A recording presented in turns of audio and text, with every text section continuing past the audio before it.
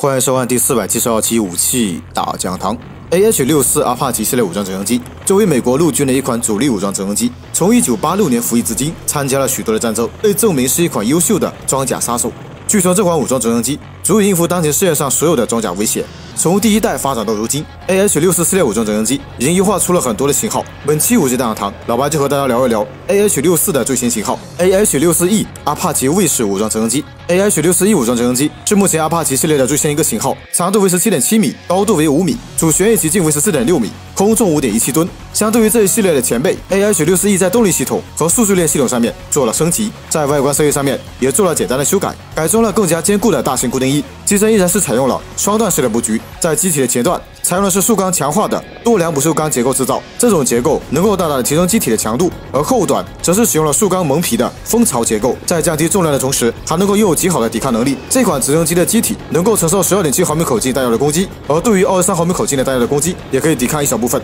为了保护驾驶员，AH 六四一武装直升机。采用的是防弹玻璃制造的座舱盖，座舱盖为平板的设计，两个座位之间也有防弹玻璃隔开。这样的好处就是能够降低两位驾驶员同时被敌方武器击中的几率。在动力方面，AH 六四阿帕奇系列武装直升机除了强大的火力之外，最突出的地方就是动力和运载能力了。AH 六四一的型号，其动力系统做了非常大的升级，发动机采用的是两具通用电气的 T 七百 GE 七零幺 D 涡轮轴发动机，单台能够输出一千九百九十四匹的马力，比上一个版本的一千八百匹的马力有所提升。这两具发动机所提供的动力，能够让 AH 六四一武装直升机拥有三千公里每小时的最大速度，其最大爬升高度为六千四百米。而为了提高动力系统的抵抗能力，螺旋桨采用的是新型的复合材料叶片，这种材料能够抵抗得住少量二十三毫米口径高射炮的打击，而十二点七毫米口径的穿甲弹基本上对这款螺旋桨是没有杀伤力的。就算是发动机的减速齿轮箱在遭遇击穿、润滑油完全流失的情况下，其动力系统还能够持续使用三十分钟，让飞行员有时间。驾驶直升机脱离战场或是迫降，其动力系统的这些改进，能够使得 AH 六四的速度和续航里程提高百分之五十，而在使用寿命上也延长了不少。不过整体的造价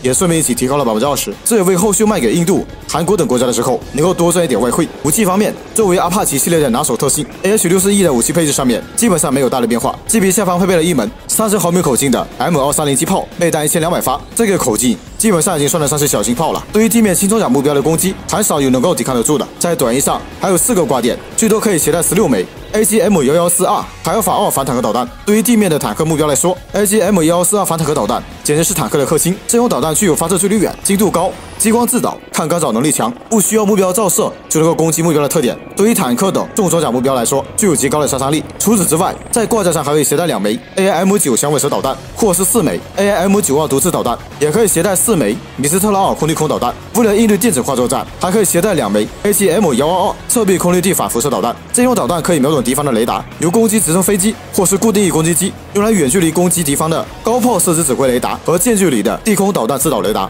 AH 六四 E 具有多元化的武器配置能力，其载重量可以达到十吨，这为它能够携带大量的武器带来了可能。除了武器之外，AH 六四 E 相对于上一个型号，对雷达的升级是最多的了。其可控雷达的探测距离从之前的八公里增加到十六公里，还可以探测和瞄准海上目标。机上配备了最新的传感器、航空电子设备等等。最大的升级之一就是添加了 MUMTX 计划，这个计划是有人无人机编队的拓展能力。所谓有人机无人机混合编队。指的是一架有人机指挥一架无人机，或者是一架有人机同时指挥多架无人机进行协同作战。说白了就是 AH 六十一卫士武装直升机可以控制几辆无人机进行协同作战，这一点在未来的作战中将会是一大趋势，能以极小的成本实现最大的战绩。在目前而言，AH 六十一阿帕奇卫士武装直升机或者是美国陆军最出色的一款现役武装直升机了。AH 六十一阿帕奇卫士武装直升机目前在美国陆军中服役，同时也外售到中国台湾、印度。韩国、英国、印度尼西亚等国家中具有海上打击能力和极佳的夜间作战能力。或许在未来很长一段时间之内，这款饱经沙场的武装直升机